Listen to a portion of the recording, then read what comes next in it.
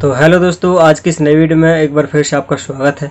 Friends आज की इस वीडियो में आपको पाँच ऐसी इंपॉर्टेंट चीज़ बताने वाला हूँ, जो कि दोस्तों बहुत ही इंपॉर्टेंट है। यदि आपका चैनल मोनेटाइज होने वाला है या फिर दोस्तों मोनेटाइज हो चुका है अभी रिसेंटली ठीक है ना? तो फ्रेंड्स कुछ यूट्यूबर ऐसे होते हैं जिनको पता ही नहीं होता है इन पाँच स्टेप्स के बारे में, इन पाँच इंपॉर्टेंट चीज़ों के बारे में। एंड दोस्तों, उनका चैनल मोनिटाइज हो जाता है और उन्हें पता नहीं चलता कि हमारे चैनल पर जो हमारे वीडियोज़ हैं तो उन पर एड्स क्यों नहीं आता? वो लोग पंद्रह दिन मतलब कि मोनिटाइजेशन के पंद्रह दिन बाद तक या एक महीने बाद तक परेशान रहते हैं और उनकी जो रेवेन्यू है यूट्यूब से वो भी नहीं आती है। ओके तो फ्रेंड्स वही खास चीज़ें बताने वाले हैं दोस्तों।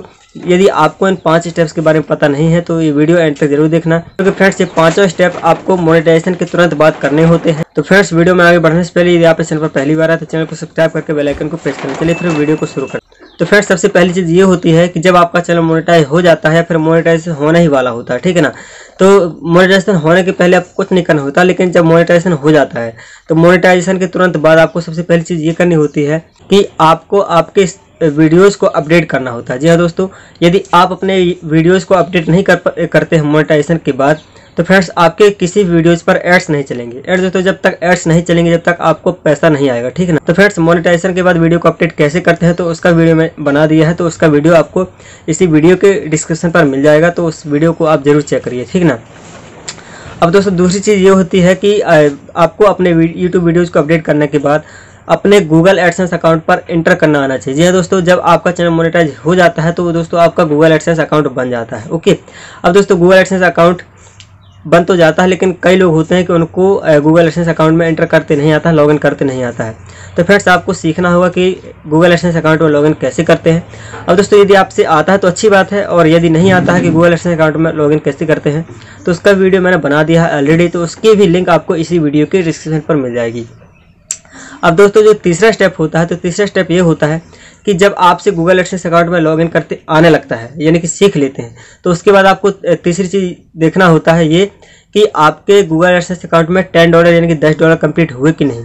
अब दोस्तों, यदि आपके गूगल एडसेंस अकाउंट में दस डॉलर कंप्लीट हो जाते हैं तो उसके बाद दोस्तों, आपको एक्शन बटन मिलता है, आप स्क्रीन पर देख सकते हैं। तो इस एक्शन बटन के थ्रू दोस्तों आपको अपना एड्रेस वेरिफिकेशन करना होता है। जी हाँ दोस्तों, जैसे कि आप अपना यहाँ पर वोटर आईडी दे सकते हैं ड्राइविंग लाइसेंस दे सकते हैं।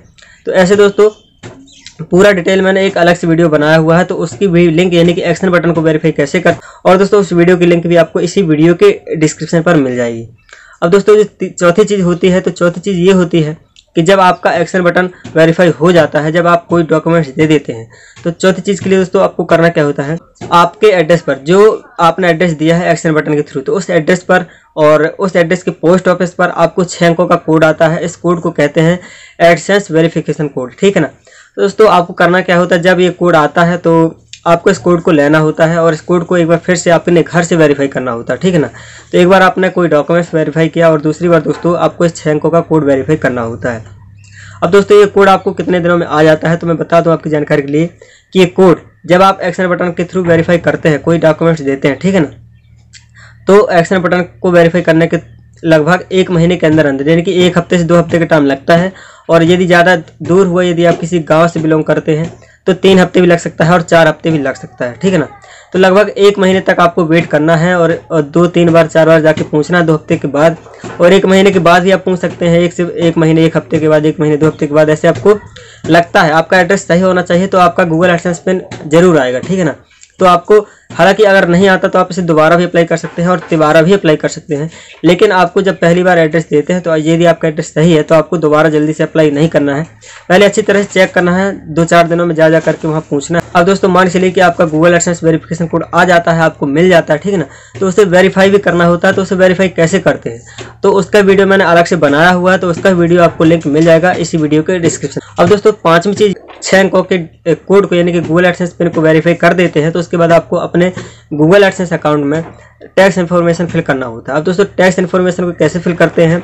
तो उसका भी वीडियो मैंने अलग से बनाया हुआ है तो उसका भी लिंक आपको वीडियो के डिस्क्रिप्शन पर मिल जाए जब आपका टैक्स इन्फॉर्मेशन फिल हो जाता है तो उसके बाद आपको बैंक अकाउंट लिंक करना होता है। यानी कि बैंक अकाउंट को गूगल एडसेंस अकाउंट से लिंक करना होता है। तो फ्रेंड्स गूगल एडसेंस अकाउंट से बैंक अकाउंट कैसे लिंक करते हैं, इसका भी मैंने एक अलग से वीडियो बनाया है तो उसकी भी लिंक आपको इसी वीडियो के डिस्क्रिप्शन पर मिल जाए इस वीडियो में आपको मैंने पाँच ऐसी खास चीज़ें बताई हैं, जो कि मोनिटाइजेशन के तुरंत बाद करना होता है।